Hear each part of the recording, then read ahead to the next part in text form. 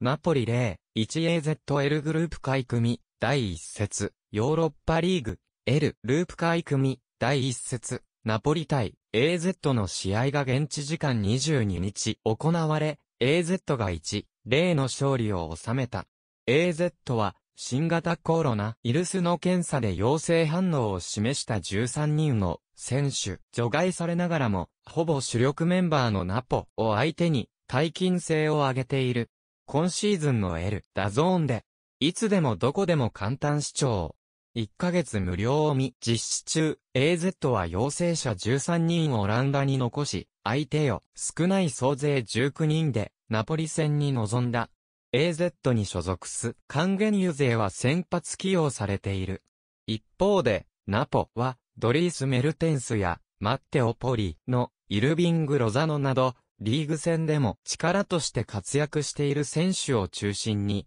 スタメンを組んだ。すると57分、ヨナス・スベンソンかパスを受けた AZ のダニでビトが先制点決める。その後は、ラモン・レービンとはバート・グドムンドソンの2選手だけを交代ばさせて、リードを守りきる体制に入る。A メ、いや、BBC のデータによれば、ナポリは、ボール保持73%で試合を支配し、合計20本のシュートを放った、のこと。ゴール枠内に6本のシュートが放たれ、柄も AZ は耐え抜き、1、0の勝利を収めている。お、菅原は、フル出場を、果たして勝利に貢献し、両。